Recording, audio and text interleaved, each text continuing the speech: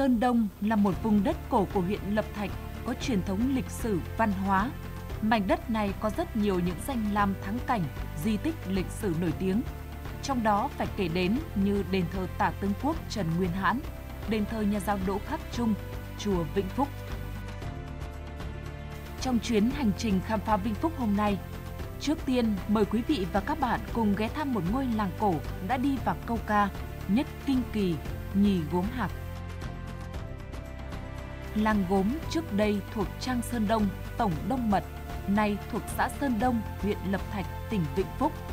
Trước cách mạng tháng 8, làng gốm là một trung tâm thương mại nổi tiếng trên bến dưới thuyền.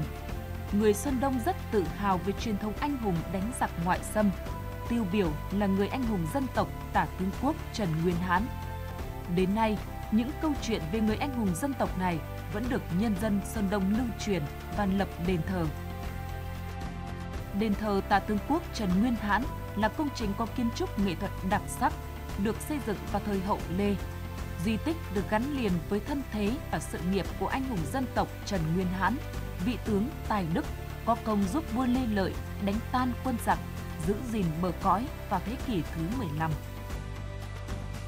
Trước đây là là có 13 cái tiến sĩ ở trong cái cái cái cái cái, cái vùng một này. Đấy, tức là ba cái cái chỗ là đền thờ Trần Nguyên Nãn và Đỗ Khắc Trung và chỗ chùa Am. Thế thì riêng là ở cái khu vực này thì thì chúng tôi thấy là hiện nay là toàn bộ là chúng tôi để giữ gìn cái cái cái cái ngôi đền của Tả Kim Quốc Trần Nguyên Đán này là cái khu lịch sử thì để để cho là tuyên truyền giáo dục cho các thế hệ.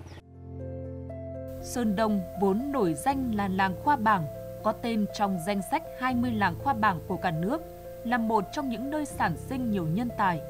Có một thời, ở làng gốm, hễ ra ngõ là gặp con quan, nên triều đình ban đạo sắc phong ghi nhận làng gốm là làng quan tử, tức là làng con quan.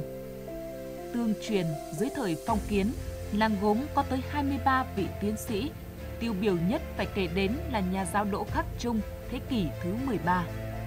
Tuy không sinh ra ở Vĩnh Phúc, song Đỗ Khắc Trung từng có thời kỳ dạy học ở làng gốm, xã Sơn Đông và gắn bó sâu sắc với vùng đất này. Ông đã đem đến chữ nghĩa, lễ giáo và trí tuệ cho dân làng, mở ra một hướng mới, hướng đầu tư vào học nghiệp của cả làng, có truyền thống tới hơn 700 năm nay. Sau khi ông mất, tưởng nhớ công lao của ông, nhân dân trong vùng đã lập đền thờ trên chính nền lớp học cũ mà Đỗ Khắc Trung dùng làm nơi dạy học cho nhiều thế hệ con em làng quan tử. Đền thờ nhà giáo Đỗ Khắc Trung được xây dựng từ khoảng giữa thế kỷ 14 năm 1929. Đền được trùng tu, sửa chữa và giữ nguyên vẹn cho đến nay. Nhân dân vẫn quen gọi là miếu cụ đỗ, miếu quan tử. Đền hiện còn lưu giữ nhiều hiện vật và tư liệu quý như bức hoành phi trước thượng điện với bốn chữ lớn vạn đại chiêm ngưỡng để ghi ơn người thầy của làng, người đầu tiên mở mang nền văn hiến cho người dân trên vùng đất này. Chính nơi đây, cái miếu thờ này là nơi cụ đã từng dạy học con em của làng gốm ngày xưa và thôn quân tử ngày nay. Làng này được 13 tiến sĩ. Đỗ mà có ờ, bằng sắc ở dưới ờ, quốc tử giám. Từ ngày xưa đến lúc là à, thầy à, Đỗ Khắc Trung dạy thì là à, dân làng cũng mở mang ra. Cái à, à, con em thì có cái được gia đình cho ăn học thì coi như là có cái lòng hiếu học. Thế cho nên là mới có cái câu là ngàn năm văn vật đất sơn đông không chỉ cổng làng cổng đình cổng chùa thâm nghiêm mà mỗi cổng nhà trong làng gốm cổ cũng là một công trình kiến trúc khá công phu là một trong những nhà thờ họ được ghi nhận là di tích văn hóa của tỉnh. Nhà thờ họ Vũ được tạo dựng từ thời nhà Nguyễn năm 1943, thờ liệt vị tổ tông dòng họ Vũ và tôn ông Vũ Doãn Tư là thủy tổ. Năm 24 tuổi, ông Vũ Doãn Tư đã thi đỗ đệ tam giáp đông tiến sĩ xuất thân, đứng hàng thứ 6 trong danh sách làm quan và được khắc bia thờ tự ở Văn Miếu Vĩnh Phúc.